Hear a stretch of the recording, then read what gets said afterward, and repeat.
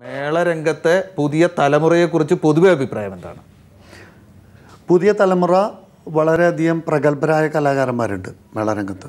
അതിപ്പോൾ ചെണ്ടയിലുമുണ്ട് കുറുങ്കുഴലിലുമുണ്ട് കൊമ്പിലുമുണ്ട് ഇലത്താളത്തിലുമുണ്ട് അപ്പോൾ ധാരാളം കലാകാരന്മാരുണ്ട് ഇപ്പോൾ.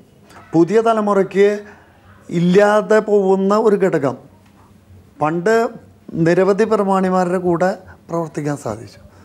അതൊരു വലിയൊരു അനുഭവമാണ്. മേള കലാകാരനെ സംബന്ധിച്ച് മേളങ്ങളിൽ നല്ല വേദികളിൽ നല്ല കലാകാരന്മാരുടെ കൂടെ പ്രവർത്തിച്ചിട്ട് ഒരു ഉൾക്കാഴ്ച ഉണ്ടാവണം. മേളം കൊട്ടാൻ എല്ലാവർക്കും പഠിക്കാം. പക്ഷേ അത് മേളമായി നന്നായി അവതരിപ്പിക്കണമെങ്കിൽ പറഞ്ഞു കൊടുക്കാൻ പറ്റാത്ത ഒരു അനുഭവം മനസ്സിൽ ഒരു ജ്ഞാനം ഉണ്ടാവണം. ഒരു ജ്ഞാനോദയം ഉണ്ടാവണം മേളപ്രമാണി അല്ലെങ്കിൽ മേളകരാകൻ അതിന് വേണമെങ്കിൽ നല്ല പ്രമാണിമാരെ കൂടെ കൂടുതൽ ചെയ്യണം. അങ്ങ് കലാജീവിതം തുടങ്ങിയ കാലത്തെ സ്ഥിതിയല്ല ഇപ്പോൾ മെച്ചപ്പെട്ടിട്ടുണ്ട് എന്ന് പറഞ്ഞു. ഏതർത്ഥത്തിലാണ് മെച്ചപ്പെട്ടത്? പ്രതിഫലം കൂടിയെന്നാണോ? അവസരം കൂടിയെന്നാണോ? വേദികൾ കൂടിയെന്നാണോ? ഏതർത്ഥത്തിലാണ് മെച്ചപ്പെട്ടിട്ടുള്ളത്? കല ഉപജീവന മാർഗമല്ലാതെ എല്ലാ ക്ലേശങ്ങളും സഹിച്ച പഴയ തലമുറ. ജീവിച്ച പോലെ ജീവിക്കാൻ ഭാവി തലമുറയ്ക്ക് പറ്റില്ല എന്ന് പൂർവികർ കണ്ടുകൊണ്ടാണ് പുതിയ തലമുറയെ ഇതിൽ നിന്ന് ഒഴിവാക്കിയത്. വിട്ട് വേറെ വഴി നോക്കിക്കൊള്ളാൻ പറഞ്ഞത്. അങ്ങനെ പോയി ഒരു കാലഘട്ടം ഉണ്ടായിരുന്നു.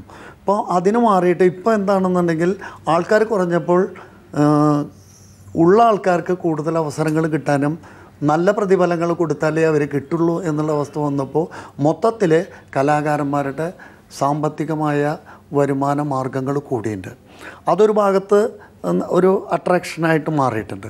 പിന്നെയുള്ളത് വേദികൾ പണ്ട് നമ്മുടെ യാത്രാ സൗകര്യങ്ങൾ പരിമിതമാണ്. ചെണ്ടയും ഒരു ചുമൽ ഒരു തോളിൽ തിമലയും. വെച്ച് നടന്ന് പത്തോ പതിനഞ്ചോ കിലോമീറ്റർ നടന്ന് യാത്ര ചെയ്ത് ജോലി ചെയ്തിരുന്നതാണ് എന്റെ അച്ഛന്റെ തലമുറയിലുള്ള ആൾക്കാർ. ഇന്ന് ആ സ്ഥാനത്ത് ഓരോ കലാകാരനും സ്വന്തമായി വാഹനവും സൗകര്യമുണ്ട്. അപ്പോൾ എവിടെ വേണമെങ്കിൽ എത്തിപ്പോ എത്താനും എത്ര ദൂരം പോകണമെങ്കിലും സൗകര്യം. അപ്പോൾ യാത്രാ സൗകര്യം കൂടി സാമ്പത്തിക സൗകര്യം കൂടി. പിന്നെ ഇപ്പോൾ കല കൊണ്ട് മാത്രം ജീവിക്കാൻ. അതായത് നന്നായിട്ടുണ്ട് കലാകാരനാവാൻ ആഗ്രഹിക്കുന്ന ആൾ പരിമിതികൾക്കുള്ളിൽ നിന്ന് ജീവിക്കാൻ തയ്യാറാണെങ്കിൽ മറ്റുള്ളവരെ പോലെ ജീവിക്കാൻ പറ്റില്ല. കലാകാരനായിട്ട് ജീവിക്കാൻ വേണ്ട സൗകര്യം ഇന്ന് കല കൊണ്ട് കിട്ടും പിന്നെ മറ്റുള്ളവരെ നോക്കി അതുപോലെയൊക്കെ ആവാൻ കലാകാരന് പറ്റുന്ന കലാകാരന്മാരുണ്ടാവും. അതെല്ലാവർക്കും പറ്റില്ല. സാധാരണ കലാകാരന് കല കൊണ്ട് സാധാരണക്കാരനായി ജീവിക്കാൻ പറ്റും.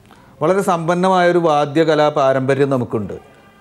താങ്കൾ അതിന്റെ വളരെ ആധികാരികതയുള്ള ഒരു വക്താവാണ്.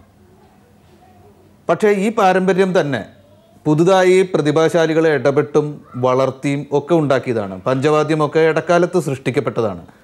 ഇനിയും വാദ്യകലാ മേഖലയിൽ അത്തരം സൃഷ്ടികൾ പുതിയ സൃഷ്ടികൾ നടക്കണ്ടേ? അതിനിയും പരമ്പരാഗത രീതിയിൽ തന്നെ ഒഴുകിയാൽ മതിയോ? മാറ്റങ്ങൾ വരണ്ടേ? മുന്നോട്ട് പോകണ്ടേ? പുതിയ കാലത്തിനും പുതിയ അഭിരുചിക്കും ചേരുന്ന വിധത്തിലുള്ള കണ്ടെത്തലുകൾ ഉണ്ടാവണ്ടേ? മാറ്റങ്ങൾ കാലത്തിന്റെ ഒരു നിയമ പ്രകൃതി നിയമമാണ്. മാറ്റങ്ങൾ സംഭവിക്കും. മാറ്റങ്ങൾ സംഭവിക്കുന്നതിലൊക്കെ സംഭവിക്കും. മാറ്റങ്ങൾ സംഭവിക്കാത്തതിന് മാറ്റങ്ങൾ സംഭവിക്കില്ല. ശാസ്ത്രീയ കലകൾക്ക് കാര്യമായ മാറ്റങ്ങൾ വരില്ല. ഇനി വരില്ല. ഇനി വരില്ല. പിന്നെ താളക്രമങ്ങൾ പുതിയതുണ്ടാക്കാം. പുതിയ മേളങ്ങൾ കണ്ടെത്താം. അതായത് ഇപ്പോൾ പഞ്ചാരിയും പേ പാണ്ടിക്കും പുറമെ ചെമ്പ താളത്തിൽ ചെമ്പമേളം ചെമ്പട താളത്തിൽ ചെമ്പട മേളം അടന്ത താളത്തിൽ അടന്ത മേളം അഞ്ചടന്ത എന്ന് പറഞ്ഞൊരു വേറെ മേളം ധ്രുവ താളത്തിൽ ധ്രുവമേളം ഇങ്ങനെ നിരവധി മേളങ്ങളുണ്ട്. നമ്മുടെ പഴയ പൂർവികരനെ ചിട്ടപ്പെടുത്തിയ മേളങ്ങളുണ്ട്. ആ മേളങ്ങളൊക്കെ ഇപ്പോൾ അപൂർവ മേളങ്ങൾ എന്നുള്ള ഒരു വിശേഷണത്തോടു കൂടി നിലനിൽക്കണം ഇപ്പോൾ എന്നുവെച്ചാൽ അവസരങ്ങൾ കുറയുക സുലഭമായിട്ട് പ്രയോഗിക്കുന്നത് പഞ്ചാരിയും പാണ്ടി മാത്രമാണ് അപ്പം അപ്പോൾ പുതിയ കണ്ടെത്തലുകൾ ഉണ്ടാവാം ഉണ്ടാകും. ഉണ്ടാവുന്നതിന് വിരോധവുമില്ല. പക്ഷേ ഉള്ളത് സംരക്ഷിക്കാൻ സാധിക്കാത്ത അവസ്ഥയിലാണ് ഇപ്പം നിൽക്കുന്നത്. മേളങ്ങൾ പലതും അപൂർവങ്ങളായി മാറിയിരിക്കുക അപ്പോൾ പുതിയ ശാസ്ത്രീയ കലകളിൽ മാറ്റമില്ല. പുതിയ കലാരൂപങ്ങൾ ഉണ്ടാക്കാം. അടുത്ത കാലത്തായിട്ട് ഉണ്ടായി വന്നിട്ടുള്ള ഒരു മേളം മേളം കാണുന്നുണ്ട്. ശിങ്കാരി മേളം. സാധാരണക്കാര് അത് വളരെ ആസ്വദിക്കുന്നു. ചിലര് യുവതലമുറയൊക്കെ അതിൽ ഹരം കൊള്ളുന്നു. അതിൽ തന്നെ കൂടുതൽ ദ്രുതമായ രീതികളും ചലനങ്ങളും ഒക്കെ കൊണ്ടുവരുന്നു. അങ്ങനെ അത് വരുന്നത് പരമ്പരാഗത വാദ്യകലാ ഒരു ഭീഷണിയാണെന്നോ അങ്ങനെ എന്തെങ്കിലും അഭിപ്രായം അങ്ങേക്കുണ്ടോ? ഒരിക്കലും സംഭവിക്കില്ല. അതായത് പഞ്ചാരി മേളത്തിനോ പാണ്ഡ്യമേളത്തിനോ അതുപോലുള്ള ഇതിനെക്കുറിച്ച് ക്ലാസിക് നേരത്തെ നമ്മൾ പറഞ്ഞു ശാസ്ത്രീയ കല എന്നും ശാസ്ത്രീയമല്ലാത്ത കലകളെന്നും. ശാസ്ത്രമില്ല എന്നല്ല പറഞ്ഞതിന്റെ അർത്ഥം. അവതരണ ക്രമത്തിലും കൃത്യമായ ചിട്ടകൾ പാലിക്കുന്ന ശാസ്ത്രീയ മേളങ്ങളാണ്. പഞ്ചാരി മേളം പാണ്ഡ്യമേളം. അതിനൊരു താളക്രമത്തിലും കണക്കുകളും കാര്യങ്ങളും കൃത്യതയുണ്ട്. അത്തരം അവതരങ്ങളെ ഈ വക അവതരണങ്ങൾ കൊണ്ട് ഒന്നും സംഭവിക്കില്ല. ഇത് പഞ്ചാരി മേളം അവതരിപ്പിക്കുന്നിടത്ത് പകരം വയ്ക്കാൻ പറ്റിയ കലാരൂപമല്ല അത്. പാണ്ഡിമേളം അവതരിപ്പിക്കുന്നതിന് പകരം വയ്ക്കാൻ പറ്റിയ രൂപമല്ല. പക്ഷേ ഇത് അവതരിപ്പിക്കാൻ പറ്റുന്ന വേദികളുണ്ട്. അത്തരം വേദികളിൽ ഒരു എന്റർടൈനർ ആയിട്ട് നമുക്ക് ആ കലയെ ആസ്വദിക്കാം കാണാം അതിനെ പ്രോത്സാഹിപ്പിക്കാം ആ കലാകാരന്മാരെയും പ്രോത്സാഹിപ്പിക്കാം.